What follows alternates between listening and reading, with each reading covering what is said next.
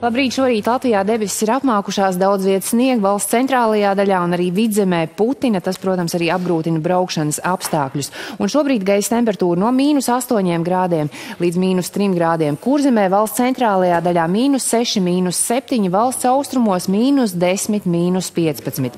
Arī dienas pirmajā pusē valsts centrālajā daļā, kā arī kurzemes vidienē un zemgalē stipri sniks un putinās. Tas, protams, apgrūtinās braukšanas apstākļus. Tāpat būs arī slikti slikta redzamība sniegšanas laikā, bet dienas otrajā pusē no rietumiem debesis pakāpeniski skaidrosies.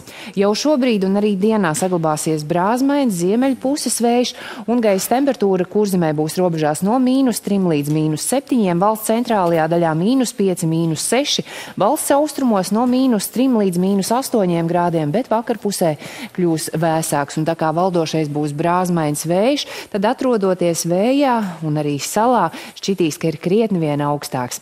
Rīgā stipri sniega, nu arī puteņo brāzmains vējš pilsētas ziemeļos līdz pat 19 metriem sekundē, un arī dienas pirmajā pusē saglabāsies brāzmains ziemeļu puses vējš, ir gaidāms sniegs, putinās, tas, protams, apgrūtinās pārvietošanās apstākļus, un Rīgā gaisa temperatūra dienas laikā būs robežās līdz mīnus 6, mīnus 7 grādiem.